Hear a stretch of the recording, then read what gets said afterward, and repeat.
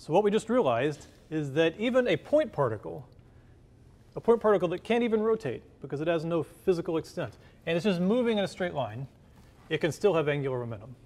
And that's just the extreme case. What I'm about to show you, what we've been calculating, applies to any object. It can have a size, it could be spinning, it could be a disk.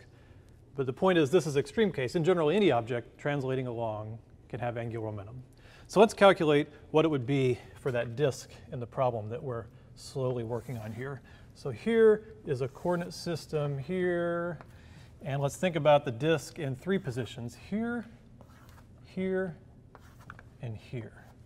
And it's moving along at v for each one. No forces, no torques, just gliding along at v.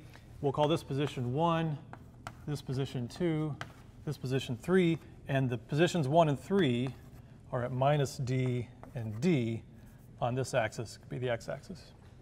And the height above the origin we'll call h. All right, so what we're going to do is calculate the angular momentum at each position, see what we get. Position 1, L.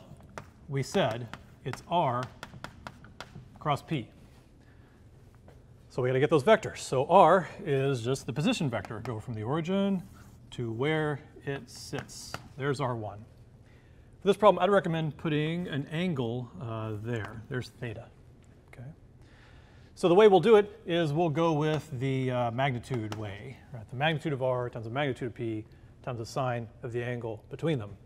The magnitude of r1 in this case is, it's a right triangle, right? So there's uh, h, d, right triangle, Pythagorean theorem, the square root of h squared plus d squared.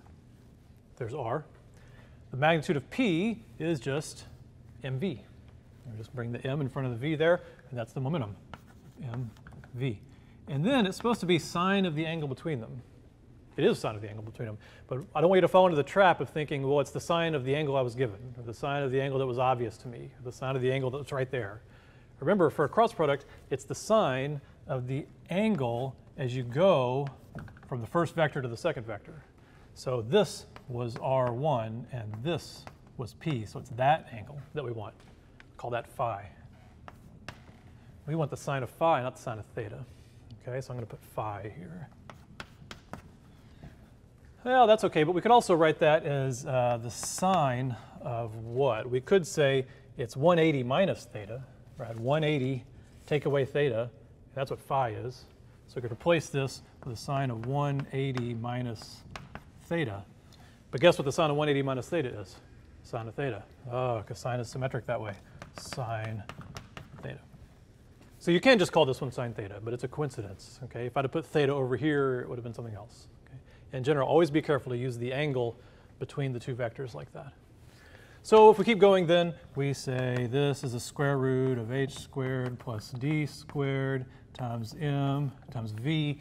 And now we need the sine of theta. And the reason I like to put it there is because then it's easy to get. It's opposite over hypotenuse. So we say h opposite over hypotenuse square root of h squared plus d squared. Thank God that's going to go away. So that goes away, and we get, um, I'm going to write it in the order hmv. The height times the mass times the velocity, because that looks like rp. That's the distance you care about, mv.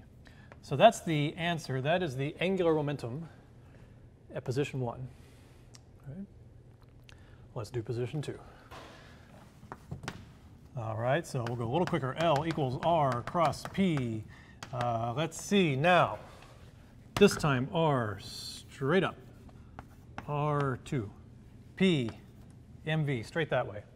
So right here we're at 90 degrees, you can see. If I bring this tail to tail with that, the angle is 90 degrees. So uh, I got ahead of myself, I'm sorry. So the magnitude of R is H. There's no angle here, it's just straight up. H. The magnitude of P is MV. The sine of the angle between them is the sine of 90 degrees. You can tell just by looking at it. Sine of 90 degrees is 1, right? So this one is just HMV. Interesting, same thing at position 2. Okay. Now let's finish it off. Let's do position 3. L equals R cross P. What's it going to be? Let's draw some vectors here. There's R3, right? And there's P is MV.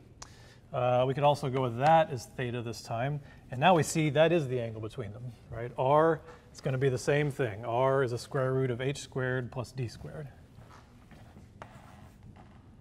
h squared plus d squared.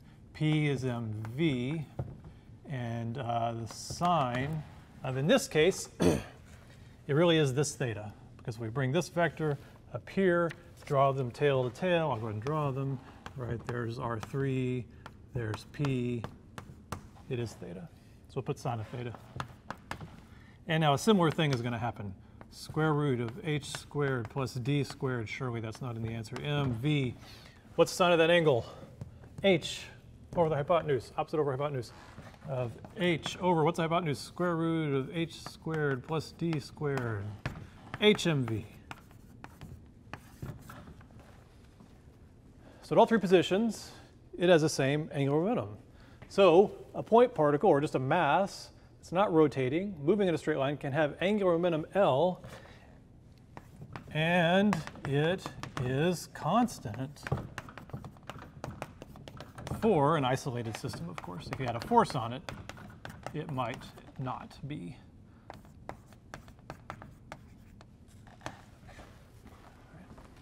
So not only can we define angular momentum this way, it seems to follow the rules. It seems to be conserved for something just moving along and not being pushed.